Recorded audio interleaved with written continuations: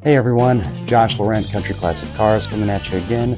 Uh, today I'm in my basement, um, underground bunker in an undisclosed location. But um, we're going to do a special video today, and this video is going to be um, a little show and tell of some of the different, if I drop it here, some of the different hood ornaments that can be found on classic cars. Now, you know, there are some really neat hood ornaments out there and all kinds of different styles, shapes, different meanings of them. Um, even some of the just aftermarket and custom ones that people put on, but from the manufacturers themselves, the hood ornaments has been uh, kind of a, a staple in, in, classic cars. And, you know, one of the questions that we get a lot is, uh, whatever happened to the car hood ornaments? You know, where, where are they at now? Why don't we see them as much? Why were they there in the first place? So let's take a look at, uh, at some of the hood ornaments we have and we'll see um, kind of the evolution of the, of the hood ornament and um, all the different styles that are out there. You know, there was a time when car hood ornaments graced, you know, most every vehicle. Um, nowadays, not so much. You know, it's it's a rare sight. There's still a few brands that that um, you'll see the hood ornaments very prominent on, but you know, that's just one of the one of the questions. Like, you know, what what happened to them? Why were they there? Where'd they go? Um, understanding why car hood ornaments were, were once you know the standard is you kind of need to look back to the early 20th century and understand why they were there in the first place. Um, obviously, those cars don't look anything like today's you know streamlined aerodynamic cars. You know, in fact, if you look at some of the old hoods, you'll notice that really the it was a, it was a radiator cap. I mean, that was that was really kind of the first you know type of hood ornament.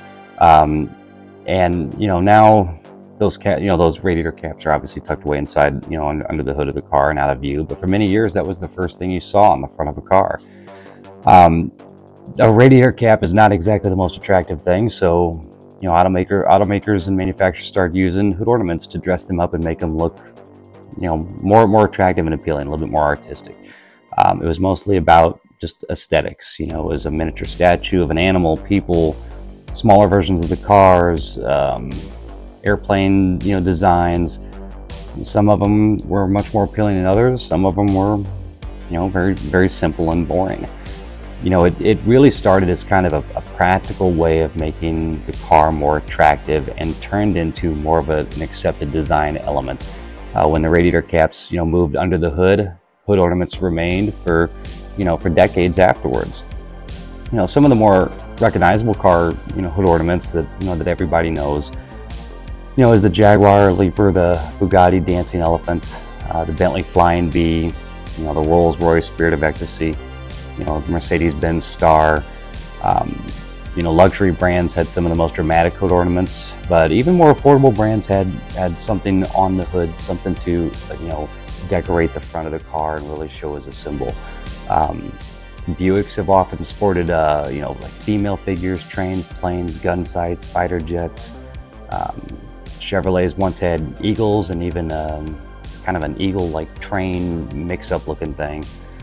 Plymouth had sailboats, you know, Pontiacs, which were named after Ottawa Chief Pontiac, had the Native American bust.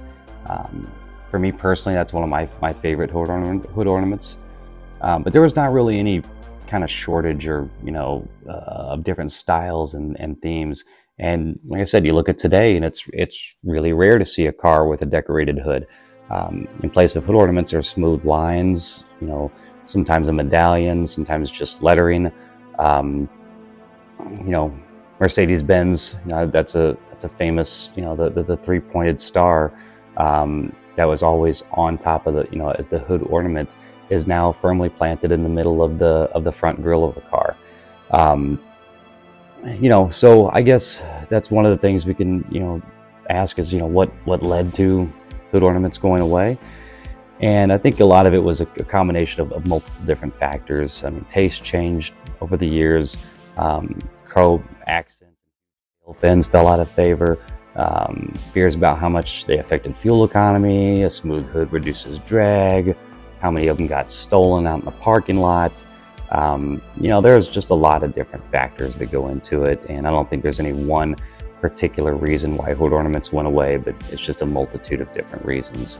Um, we all remember, well, a lot of us remember that 80s, like the hood ornaments kind of became a fashion statement. A lot of people wore the, you know, like the Mercedes Benz uh, three pointed star and turned it into a, a chain on a necklace. Um, you know, there's, you know, that, that really led to a lot of hood ornament theft. So,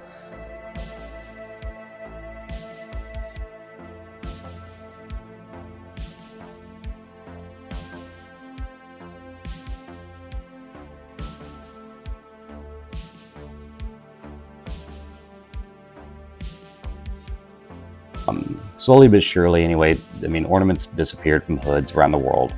Um, they're kind of replaced with just stylized logos and and uh, you know on the grill or in lettering.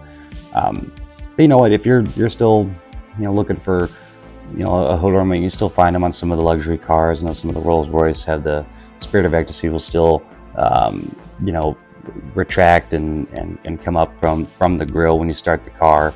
So there's uh, there's still a few of them out there. There's a lot of aftermarket ones. There's some famous ones that weren't even, you know, real hood ornaments from manufacturers. So people know the the the convoy duck um, from the 1970s movie Convoy, or also seen in the movie um, uh, Death Proof by Quentin Tarantino, the convoy duck that was on uh, stuntman Mike's Nova. You know, that's a famous hood ornament, and there's lots of lots of others. So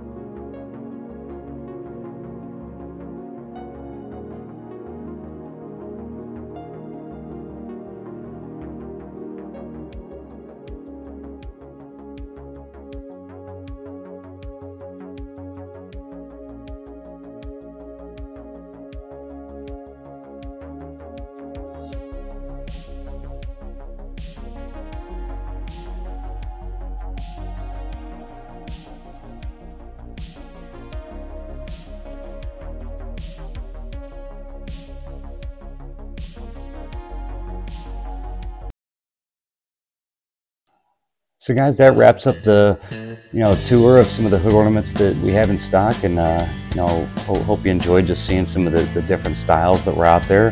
Um, this particular hood ornament came off of a Dodge uh, that we had in uh, inventory a long time ago and did some restoration work. So this was the original one.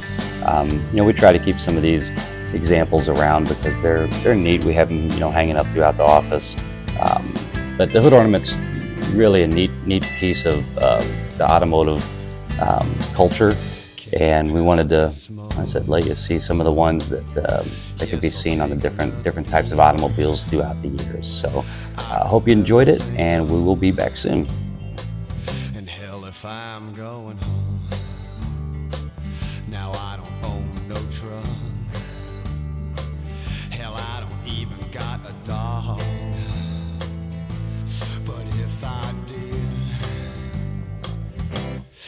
Bite you in the ass.